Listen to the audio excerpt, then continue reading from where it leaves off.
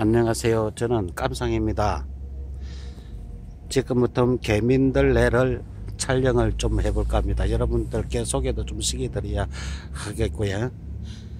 이 개민들레는 우리나라 꽃이 아닙니다. 지금 나는 요 해운대구 송정에서 지금 촬영을 하고 있는데 이게 예국 꽃입니다. 예국이고 가고 이, 이 애들이 크기로는 많이 큽니다. 얼마나 크노 하면은 자로 재봐 보면은 제일 컸을 때가 지금은 어린데 지금도 그래도 한 30이 넘어가고 이렇습니다. 우리 저게 제일 크게 되면은 1m 한 20에서 30까지도 나오는 거를 크는 걸 봤습니다. 이 꽃까지 피가지고요. 그런 식으로 봤는데 꽃은 굉장히 예쁩니다. 이거를 분리를 어, 저거 빨리 판단을 못 하겠으면 내가 자세히 한번 더 보여드리겠습니다. 요 지금 뿌리 부분에서부터 해가지고 가지가 있는 거 있잖아요. 가지가 있는 이 자체 파란 거는 개민들레입니다. 개민들레고요. 다시 한번 보여드릴까요? 자, 요 파란 자체, 파란 자체, 요 보이는 거는 개민들레입니다. 자, 여러분들께서는 이거 우리 한국에 있어서는 안 됩니다. 이 애들이 있게 되면은 잔지까지도 다 죽이게 되고, 그 옆에 다른 풀 같은 것도 많이 죽게 됩니다.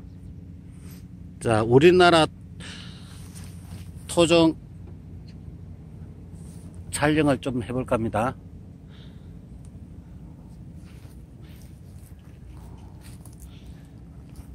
자, 우리나라 토종을 대로 왔는데, 예. 자, 우리나라 토종 거는 좀 다릅니다.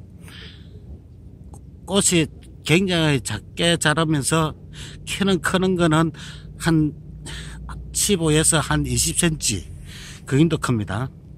그리고 아빠 아까 그 개민들레에서 봤었죠. 우리 한국 거하고는 차이점이 많이 나잖아요. 차이점이 굉장히 납니다. 자, 우리 한국 거는 이렇게 가지가 꽃대가 올라오는 가 보면은 빨갛습니다. 빨갛고 키도 굉장히 적습니다. 그런데 개민들레는 개민들레는 자체는 1m 한 30 정도 그런 식으로 보시면 됩니다. 이게 개민들레입니다. 자, 다시 한번 보여드리겠습니다. 이게 개민들레입니다. 가지 부분이 확실하게 다르지 우리 한국하고는 앞에 보시면 알겠지만 우리 한국 토종하고는 확실히 다릅니다.